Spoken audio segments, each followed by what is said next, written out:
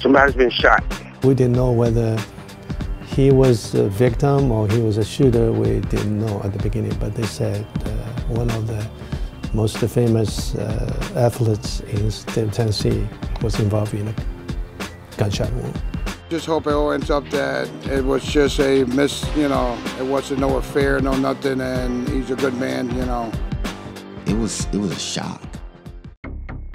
And a play action. Oh, he's got to hurry. And McNair gets away. He's at the 35. He's at the 40. The 45. The 50. The 45. He may go. He's going to score a touchdown. He's at the 15. The 10. The 5. Touchdown. McNair. Oh, my goodness. The end for Steve Eric McNair started with what the ex quarterback believed to be a new beginning.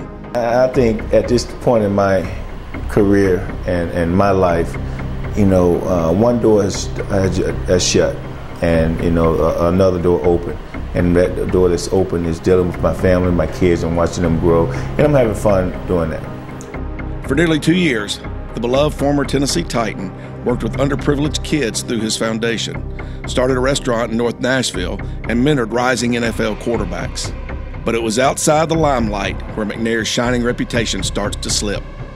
Partying drinking extramarital affairs. These were the very activities that put Steve McNair on a collision course with a young woman named Sahel Kazemi, or Jenny as her friends called her.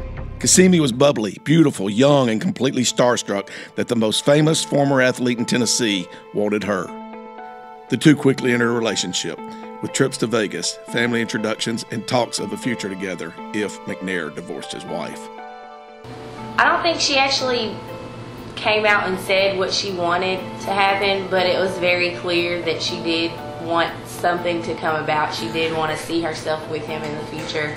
And it seemed, for the most part, it seemed like it was mutual between them because he seemed like he cared about her just as much as she cared about him. And he, uh, he told me I love her.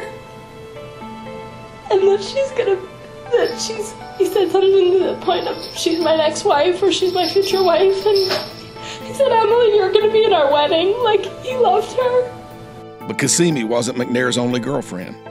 Since May, Leah Ignagni and McNair had been seeing each other. There were no trips, but there were plenty of late night calls to the downtown condo. And Kazemi had started to suspect McNair's infidelity. Maybe it was the confusion of the relationship or the pile of debt Kazemi had racked up with her purchases of a Cadillac Escalade with McNair. But the waitress at Dave and Buster's was starting July with looming concerns. Concerns that only worsened after the early hours of July 2nd, 2009. So one of my cab buddies called me. He said, hey, they're saying over the radio Stephen A. get pulled over for DUI. So I'm talking to him. I said, are you sure it's Stephen A. that get pulled over? After a night of drinking at Corner Pub, Kazemi sped down Broadway with McNair and his friend Vint Gordon in the car. She was arrested while McNair and Gordon caught a cab back to the corner pub before involving a lawyer to bond Kazemi out of jail. I get pulled over because you were in the car.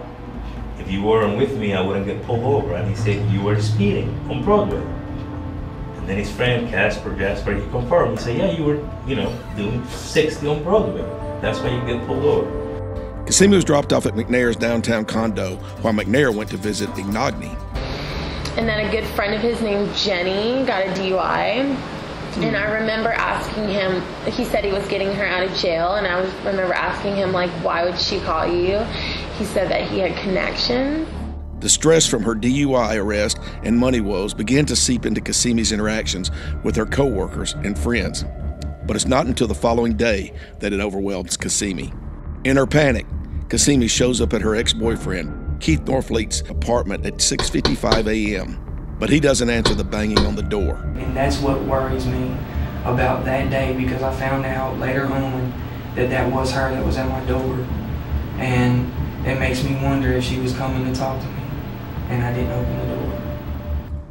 Within a few hours, Kazemi is clocking into what will be her final shift at Dave & Buster's, but not before buying a gun from Adrian Gilliam in the parking lot. Get off safety and all of that once you I just I just sold it one time. I got it and sold it just like you take the bullet, the clip out and put it in. That was it. No one is certain what drove Kazemi to purchase this gun. Back inside, Kazemi's spiral down continues. The end of the conversation essentially was that you know she's just my life is just shit and she just end it. And I was just like, no. I said, you'll get through it. You'll get through it. You always get through things. And, and that was kind of where we ended the conversation. Throughout it all, Kazemi kept reaching out to McNair for reassurance and the promise of spending the night together. But McNair wasn't pulling fatherly duties. He was out drinking at Blue Moon Lagoon and Losers. I think Mac drank a beer or so in there, and he left. I'm gonna say we get to Losers at 12:30 or something. Okay. I think he leaves.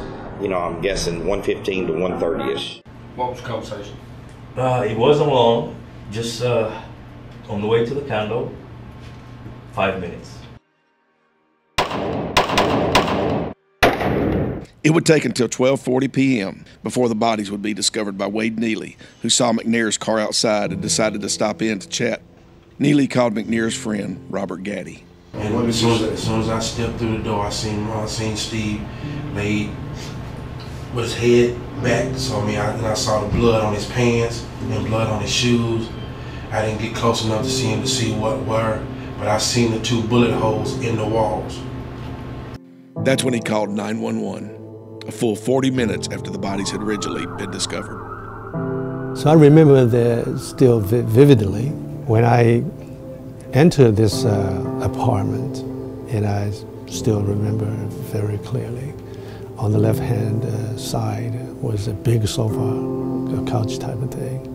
There are two victims, and uh, I can recognize one of the male vic- I mean, the, the one of the victims, the male victim, right away because he was on the news, on the TV all the time, so I, I recognized his face and his uh, figure right away.